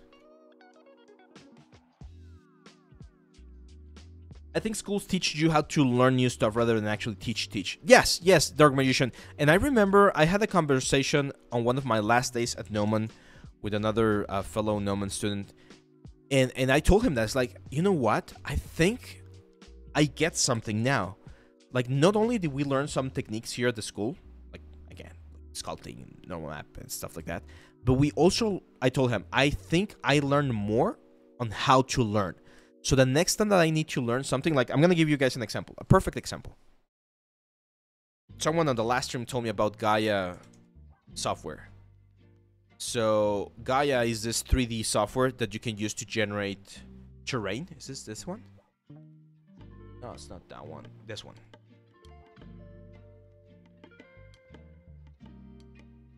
Yeah, there we go. So this is this is Gaia, and it's a a software that you can use to generate terrain, right? Mountain ranges, forests, and things like that. I don't even know like what the price is for this thing, but if I if I needed to learn how to use this one, I already have a methodology or a workflow that I can follow on on what are the things that I need to look for, what are the tools that I need to learn, and I know that I can learn the software in at least the basics, right? In like about two or three weeks. And once I know that, I can start exploring more and more advanced stuff. So so that is very valuable and that is something that you learn at school because at least with curriculums the way they're structured there has to be some sort of like order so that you can follow them along and uh, and learn that stuff. So that's why I do think it's it's valuable. Yep, Jack, I also agree there with you. Connections are super super important as well. Because connections, and, and that's the thing about the world, guys. Um, and, and you probably have heard this phrase before. It's not about what you know; it's about who you know. It is what you know, because even if you know someone that's very important in the industry or whatever, and you don't have the skills to to to rise up to the challenge, then you're gonna be wasting that opportunity. But if you if you know people, it, it does open up more um, more options. My dad, he has a very very cool phrase. I hated when he told us this phrase when we were younger, but now that I'm older, I'm like, yeah, he was very that was a very wise phrase. I'm gonna try to translate. I've translated it before, but it never kind of explains the whole point. But it, it goes like, the hunter never knows when the hare is gonna jump, or the like the rabbit's gonna jump, right? So you, as the hunter, you are there, like stalking the prey and getting ready to to shoot when the when the prey shows itself. But you don't know when that's gonna happen, right? So for me, knowing the right people is being there. Like if you know the right people, you're gonna be there where the opportunity arises, and that's gonna be really cool. But then you also need to have the skills to actually shoot and and take that opportunity and nail it. Like make a freaking amazing impression so that you can get another opportunity. and so on and so forth, right? So, so it's very very important that that you have the skills. It is very important to also get to know the people. So yeah, try to be more social, guys. And I know right now we're in a digital world. Be social online. Comment, like, share stuff. Share your opinion about um, the 3D world, about AI. Like, you never know who's going to be reading you and, and who's going to be asking you and contacting you through an email to tell you, hey, what if we do this? It's like, you know what? That's a great idea. Right, David?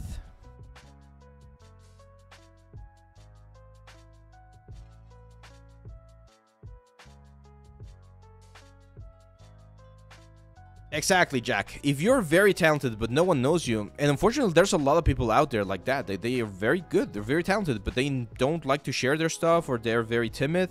So it's very important that you that you try to know people. Another big advice that I give people is go in and, and go to the to the Comic Cons. Go to the to the artist alley and, and meet people. Like ask them, hey, what do you do? Do you, are you open for commissions? Do you want to collaborate? Like maybe you go to a Comic Con or to a, a, a anime convention or whatever. You find someone that draws very nicely, and you really like one of their concepts, and you're a 3D artist, and you could be like, "Hey, would you like to collaborate? I'm a 3D artist. I I, I saw this piece of yours. It's really cool. I want to do it in 3D, and maybe later we could sell a statue as a collaboration, and we split the profits 50-50. You know that kind of stuff."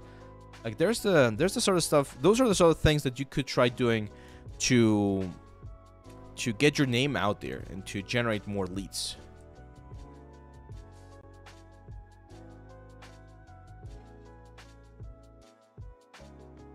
Oh, werewolves, that's a that's a huge thing. And, and I'm gonna go full screen because that's a well, that's a great question so in the 3D world, we always have the technical side of things and the artistic side of things. And in order for you to be a really proficient 3D artist, you need to try to balance both of those sides. Not only should you know all of the tools and how they work and when to use them, but you also should have the, the artistic and design background of understanding where to use those tools. I, I when I was um, when I was doing my admission, for for my school they told me that they didn't want to create a uh, like button monkeys like people who only know how and where to press buttons. They want to create actual artists that utilize those tools to generate this impactful and important pieces because they know where and when to use these tools. But both of those elements are very important the technical side of things and the artistic or like the science side of things so make sure you practice on both of them to to be a better artist Sandra says, I'm so glad to catch you live. You've been a huge inspiration to me. Your experience on how to educate and share knowledge truly shines through. So huge thank you. Oh, Sandra, that's very nice. I really appreciate it. And uh, and that's another thing that I don't share very frequently. But it's a it's a very what's the word? It's a very how do I say this? I, I think we can all agree with this. Maybe you guys feel identified with this, but we we as as individuals, we tend to be very harsh with ourselves very often. And and when I decided to be a teacher, when I made that like conscious decision of, of hey, I know this is not the career that a lot of people might pick, but I really want to do it because I enjoy doing it. I know I knew there was going to be a lot of like um uh not not uh oh man i'm having a little bit of a difficult time like putting this into words. I knew when i made that decision there was going to be a lot of people that were going to say things that were not going to be very nice right? They were going to critique that decision. They were going to say like bad things because usually teaching is not something that is highly praised um, as a society right so i knew that i was going to face that so hearing things like what you just said is very encouraging because I know that what I'm doing is, is valuable because I see it in you guys. I see how you guys improve. I've, I've gotten messages from people that are um, getting jobs at the industry, that are improving their portfolio, that they feel more confident about themselves. And I've been doing this for enough years that now I, I can see my like my Facebook list or Facebook friends, and I can see people doing amazing, amazing things, and I feel very happy for them because I've, I've always been that kind of guy. Like I, I I, I like competition and I like competing. and I like achieving my goals, but never at the expense of others. Like if if other people are more successful than me, I don't care. I'm happy for them. I'm really genuinely happy for them because it's uh, it's their journey and I'm happy for what they're doing, right? So it's one of those things um, that it's uh, it's a little bit more of a of a philosophical decision I think that I made when I started teaching that that it's difficult to sometimes explain to people because some people are just focused on on success and fame and money and and I see other benefits of, of what I'm doing here, like getting to meet you guys and, and, and helping others. That's the sort of stuff that um I don't know. I don't know. I'm just rambling right now, but it's it's it's I'm, I'm really glad to to see through you in this case, um, Sandra, that you see that, I'm, that what I'm doing is valuable because I do feel like what I'm doing is valuable. It's just it's difficult sometimes to put it into words. Let's see. Um, can you do videos on 3D scan repair and make them ready to print someday? I'm, I'm not sure what scan repair is, but I'll I'll, uh, I'll do some research. How, how should we start ZBrush as a beginner? What should we sculpt first to have a command on ZBrush? Oh, Nishant, that's a perfect question. Well, you can check my ZBrush course. We start with a skull, a dragon skull, by the way, or a dinosaur skull or something. So skulls are usually like the the most obvious way to start, like a human skull or like an animal skull. Every time I teach ZBrush, I usually start with the skull because it's a very good way to understand the tools and understand forms, details, and things like that. So I would probably recommend starting with a with the skull if possible. And again, you can check my premium course there on the on the site if you want. Do you see Speedcare's videos or lives? I have not. I've seen a couple of his videos. Um, I I really like his style. He's really good and he's very fast, of course.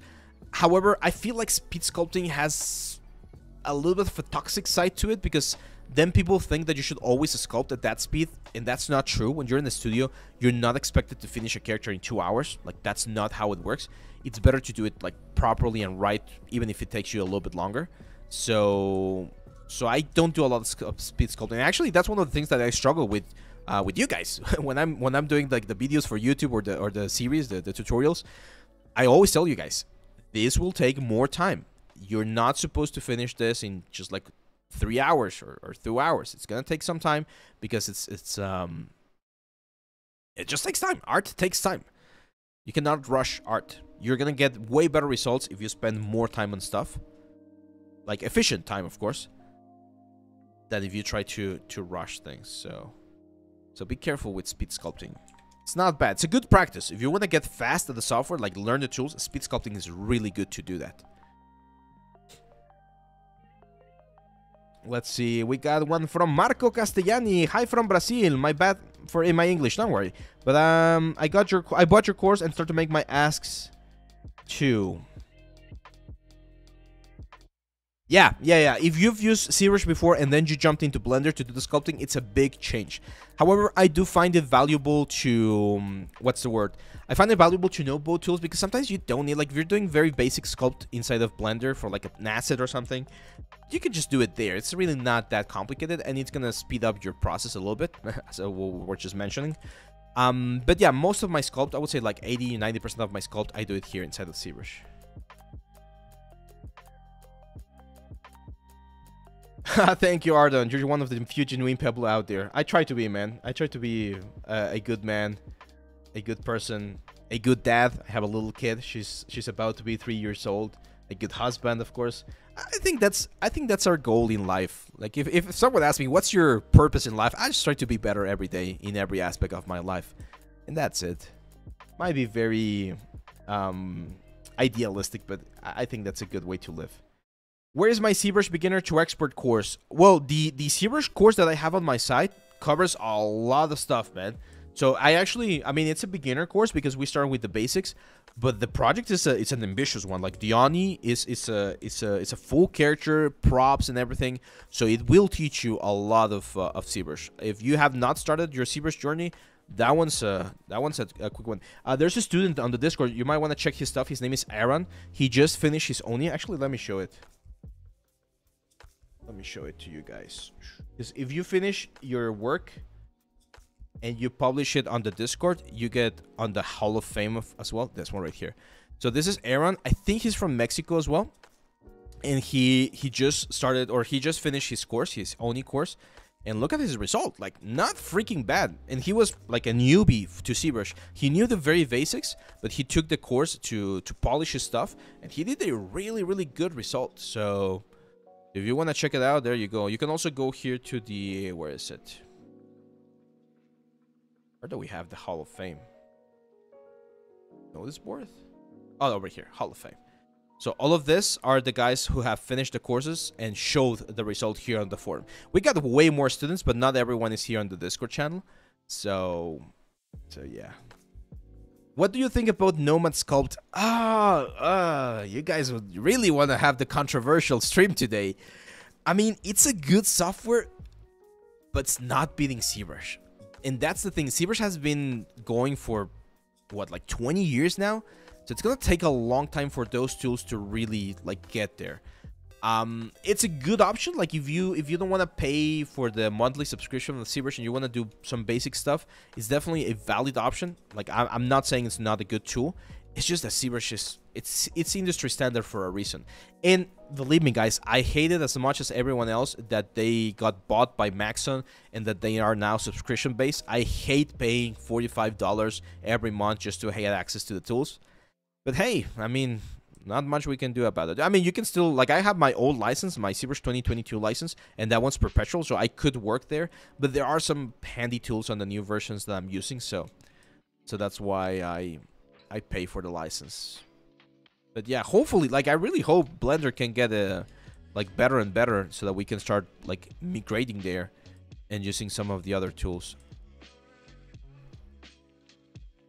But yeah, Sandra Pearson, uh, well, let me ask this one first. I'm an Enviro artist and I did a lot of Enviro courses and I just know the basic tools in ZBrush for Enviro proposals. Yeah, if you if you want to learn a little bit more about the character pipeline first, uh, with a lot of the tools, then the ZBrush course might be a good fit for you. Uh, try it out. I got a couple of free lessons there on the site, so you can just enroll, try it out, and if you like my teaching style and uh, and the course, then you can just get it. Um, Sandra, we're gonna link the Discord in just a second. Yeah, it's gonna be there. It's, it's always on the description of my videos here on YouTube, but we're gonna link the, the Discord in, in a second. There's a waiting room, so you're gonna get into the waiting room, and then you're gonna get approved in just a second, and you're gonna be able to see all of the channels. I'm a white duck says how to begin streaming. I want to be a teacher. I work in school with group but want to be more public. Um, I would recommend getting a setup. Um, white duck. That's a great question. I mean, there's a ton of there's a ton of uh, tutorials on how to set up um, your stream. I use uh, OBS, which is uh, free for my uh, for my managing like the things that you see. Oh my god. For all of the things that you hear on the stream, the music and the audio and stuff, my best advice is do get a good microphone. Uh, I think a lot of people prioritize uh, a good video camera but for us, especially in the 3D world where it's more about visual, I'd say a microphone is better. Uh, a good thank you thank you. A good one is the um the yeti the blue yeti. It's a little bit pricey but it's a good entrance microphone. That's the one that i've used for a long time. I recently upgraded to this one which is a shure mv7x MV7X, I think it's one. But this one needs an audio interface and a little bit more setup. So just start with that and just start it. Like, to be honest, guys, most of the stuff is just go for it. You're going to learn. Uh, Mr. Beast has a very famous quote, probably you've seen him, where he says, Your first 100 videos are not going to get any views or they're going to suck. But if you improve one small thing every video for 100 videos, then the difference from your 100 video will be way, way, way more than your first video. So that's a great advice this channel that you're seeing right now, it has eight months. We started it in in June last week, but I've been doing YouTube since 2020 uh, in other channels, and I've been teaching since 2015, um, and I've been doing 3D since 2011. So you just got to do something for a long time, and you get better and better at it. But there's a very important thing that you need to do, and this is for everyone, guys. This is probably one of the hardest things to learn and I again thank my dad for for teaching me how to do this. You gotta be very, very honest with yourself. And whenever you finish something, a project, a contract, whenever you're working, always ask yourself, what else could I improve? Right?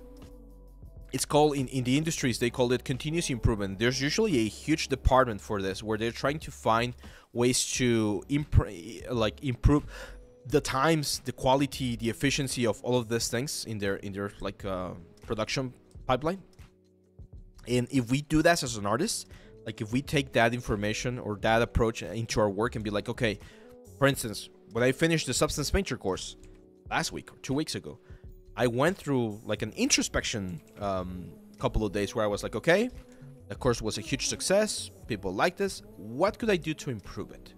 Like if I had to do it again, what would I change? What would I like modify?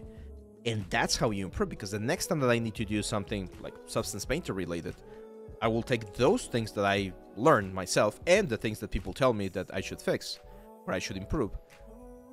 And that's where you grow. That's when you become a great artist. And that's why we have this logo or this slogan right here. Always learning, always improving. That's how you do it. Okay, I'm creating this sort of like sharp horn effect. He's very pointy, and I like the pointy bits. I don't want him to be like super edgy, but but I'm, I'm seeing him more like a royal. So I want his horns to be like a crown. Because he's supposed to be a good dragon. I know he looks a little bit mean right now. This one looks a little bit grumpy. and, and, there's a change here. You can see the nose. Again, check the concept. It's a lot rounder. So I'm going to push the nose, make it a little bit rounder here on the front. And that's going to make him a little bit, again, like more grumpy. He's supposed to be like a grandpa. Grandpa drag dragon. So he's an old dragon. Same thing here on the chin. I'm going to push the chin forward a little bit.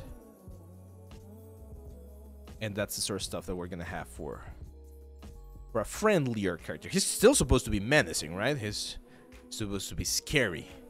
But he's supposed to be like scary friendly, not scary evil.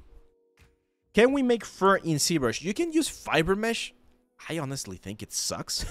so if you're gonna learn fiber mesh, just learn either like Blender Hair or, or Maya XGen, and you're gonna get a better result. We have a workshop. We had a workshop a couple of weeks ago about the basics of, of uh, XGen, in case you want to check it out. Ash says, Hey bro, doing your course like Saria, ZBrush, and Maya these days. They're great. Maya seemed hard to start because of general functional, but now it's okay. I think I'll stay in it despite the blender. Yeah, Maya is really good. Maya is really, really good. Um, I uh, just a, a, point there, Ash. I I'm no longer part of Nextdude. I've mentioned this before. So if you ask questions on those old courses that I did, you're not gonna get my answers. If you want to ask me directly, I still give support as a sort of uh, thank you to all of the loyal students and fans along the years. So I'm still giving support even though I'm not getting any remuneration from that. But please uh, contact me on the Discord channel so you can share your, your progress on those courses on the on the Discord channel, and I'll be happy to to help you out there. Do you have any Unreal courses planned? I'm currently having a rough time with landscaping. No, I don't, uh, Nida. But uh, it's been asked quite a bit. The thing is, I'm not really an environment artist. I know the basics of environment, and I, I can do props for environments. But all of those like more intricate details, I know again the basics, but it's not something that I do a lot. So I'm, I'm gonna be studying a little bit more on that so that I can offer a, a solution for you guys, because they've been or people have been asking a lot for a for a um, Unreal course, and I do feel like we could benefit from one. I have tried sculpting in Maya. It sucks you should not do any sculpting inside of Maya. Like, only do that if you hate your life. Yeah, it's really bad, so don't do it.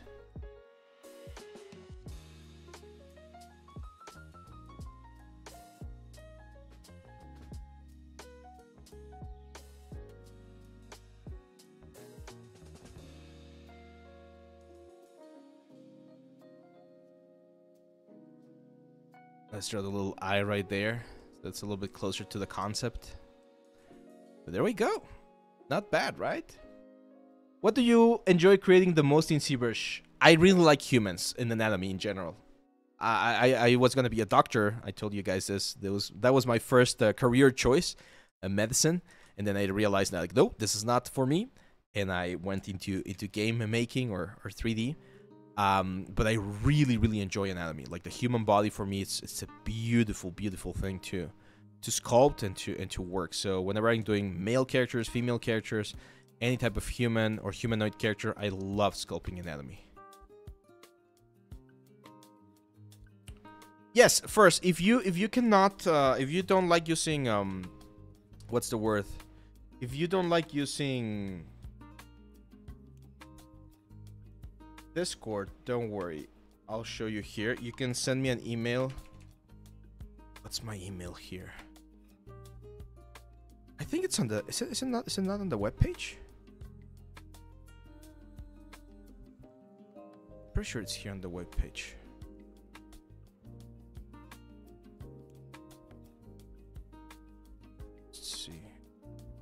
Pretty sure you can click on this icon right here on the email icon and you can send me an email directly here on the on the page.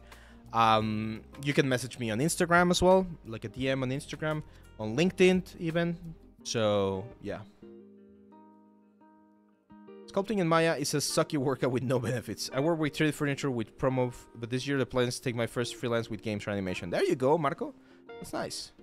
I'm hating my life because I tried it. Yeah, yeah, yeah. Don't don't do that. Sculpting in Maya is, is just it's just bad. Even modeling, like I, I've I've made this discussion before. Blender has better tools for modeling than Maya. I'm not gonna deny that. But in my case, I've been using Maya. Like Maya was literally the first software that I learned. Therefore, it's the one that I feel the most comfortable with, and I'm way faster at Maya than than Blender. But if I had to start over again and I had to learn about modeling, I would probably learn modeling instead of Blender. Animation though, Maya is better in animation. And I, I will die on that hill. Rigging and animation in Maya is way way better than in in the than in ZBrush. ZBrush in Blender. It was like I started a Sharia project, but I like how fast you did hard surface in Maya. Um, the way it looks, so I got Maya course then. Yeah, Maya is really good. Like Maya is my main DCC application. And again, there's nothing wrong with your with your choice of DCC application. At the end of the day, what's important is that you are comfortable and that you can deliver whatever it is you're asking. For instance, here in the studio, uh, I have some or some of my artists. They used to work with Blender. Some of them used to work with Maya. Some of them even use only ZBrush. I don't mind as long as you can deliver the low poly and the high poly and get ready for the bakes so that we can get it into Unreal. You can use whatever it is you want. There was an artist that was doing um, textures in Procreate, for instance. She would get her arts, her iPad out and she would do the, the textures, the hand painted textures in Procreate. I don't care. As long as I can tell you to change something and you can do the change, go for it. But there are studios that are a little bit more specialized or they might have special like pipelines or plugins and well you need to adapt to that.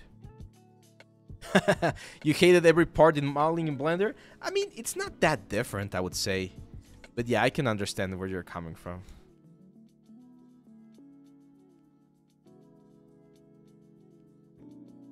i migrate to blender because i'm brazilian one dollar here worth yeah Maya, it's very expensive. Uh, make sure to check, guys, if you're getting Maya, make sure to check if your country qualifies for the indie license. That's the one that I have. And as long as your revenue is below a certain threshold, the license is very, very affordable. Like, very affordable. Yeah, Procreate, you can load up an OBJ, and as long as it has UVs, you can literally paint on top of it. You can even paint like metallic channel and specular and things like that. It's not like the best, but it's it's it's a good one. It's, it's fun especially for hand painted. I think it's a, it's a good alternative to like Mari for uh, like uh, 3DCoat, for instance. Bacaloca, what's up, man? Welcome. So I think we did a good uh, a good progress on this one. I'm really really happy with where we were able to get to this one because we're about to end our stream, guys. We got 10 more minutes. So if you got questions, now it's now or never. It's now or never. Let's just do a little bit of cleanup in this final minutes while we read the last questions. And just a quick reminder, guys, all of this information and more you can find on the premium courses. That's also like because uh, I've gotten this questions like how how how can I support the channel? If you don't, um, if you want to support the channel for free, then liking, subscribing, following, sharing, that helps a lot. And if you want to support, the premium courses are our main um, like income for the for the support of this channel. So that allows me to to keep doing this and keep helping you guys. So if you want to get a course, feel free to check the the side right there. Amoxy Chilling says, "Do you have any online 3D school workshop to suggest? Looking to get past self-teaching with paid courses." Um, I've heard Vertex is really good. Gnomon has some online classes as well that are quite nice. I'm thinking about starting my own workshop as well, like live workshop, but I have not been able to find like the specific formula that I want to like share. But we'll probably do that in the next couple of months. CG Masters is good. I've heard that it's expensive though. I've heard that it's a little bit expensive. And yeah, uh, of course, like our courses. But I, I think um, Amoxy was asking for more of a traditional class setup.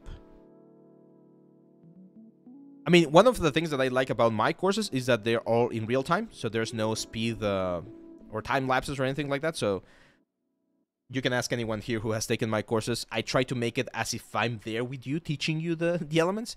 So hopefully it feels a little bit more like a class.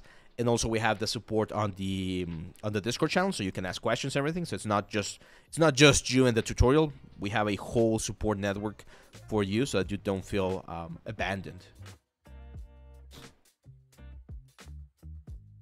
Yes, comments also help quite a bit. just just a crack version. I mean, you can risk it, but there are some clients that will like make you pay for it. Like uh, like you can get into some like really really bad legal issues. So if you're just if you're just doing it for learning, I mean, you decide. But once you're actually making money off of it, you really want to make sure everything is like legal and everything. Are there schools that provide scholarships or some sort of these things? There are. There are some. I mean, I try to keep our courses as affordable as possible. But I do know that there are some schools. Like here in Mexico, the one that I teach at, um, Invaders Institute, they they do offer scholarships. At least that's what I knew about. Good night, Sarav. Good night. Do you still do you still plan on doing a 3D print course for some cutting? Yes. So Nathan, the next course after the retopology course, which is going to be the anatomy course, will feature a section about 3D printing. So it's going to be like a combo of, of 3D printing and anatomy. We're going to be doing a character, uh, a superhero character, and we're going to be 3D printing it. And we're going to 3D print in both uh, printers. So it's going to be filament 3D print and um, and resin 3D print. And I'm going to talk about keying, I'm going to talk about posing, support placement, all that stuff. That one's going to be... I was hoping I could get it in this month, but seeing how things have been moving, I don't think it's going to be able to be released on, on March. So it's probably going to be released early April. Because here, um, I don't know if you guys know, but the, the Easter week is about to happen. It's in two weeks, and in the museum where I work or where we have some projects going, it's one of the busiest times of the year. So so I gotta have my attention there for a couple of days. Did you finalize the character? What character, Solid Mango? The n-gons affect when you print? No, n-gons do not affect when you print. You just triangulate them and you're fine. I'm going to speak for Brazil. There's no way to pay for a system to study. Most of them are an easy one-fourth of base salary with Blender. Can I do most of the work down? Yes, yes. If you're using Blender, you can do, I would say, 90% of what you can do with Maya. Yes. For the superhero course. No, no, no. I haven't even started that one.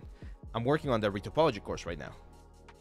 Jones, hello from Malaysia. There you go. This dragon going to continue in another live stream? Yes, Thorodox. This is going to be an ongoing project. So we're going to be working every now and then. I want this to be like my personal project for this year. So I'm, I can not promise that we're going to finish it soon but we're gonna be working on on more stuff. So today's live stream the idea was to just get the basic shapes. I think we've just accomplished that. Let's uh let's take a look at where we started. So well it started with a sphere right? But this was the other like the model like one hour ago. And this is now with some big changes. You can see how how much of a change there is by just modifying this guys right here. And um and yeah, we started with literally just a sphere. Now, this live stream is also going to be available tomorrow here on YouTube. For all of you guys, if you missed a part of this, make sure to subscribe to, to get the notification when this goes live. Do you think that the school is necessary? I've been surviving only with ArtStation YouTube, and I don't know if I think it's like, uh, as I've mentioned, Bacaloca, it's not, I mean, it's not necessary, but it is a huge help because you are going to get um, connections. You're gonna get to know people, and that's gonna probably allow you to get into the industry a little bit faster because you're gonna get more opportunities. But it's not necessary. Like I know people who were self-taught, never went to school, and got a job in the industry. So again, your mileage may vary. Ferris is asking, do you plan on doing a 3D modeling score course for games like sculpting in ZBrush, importing to Maya Blender, and doing Retopo and finishing it? I love first when people ask me those questions because I can just say, dude, we already have it.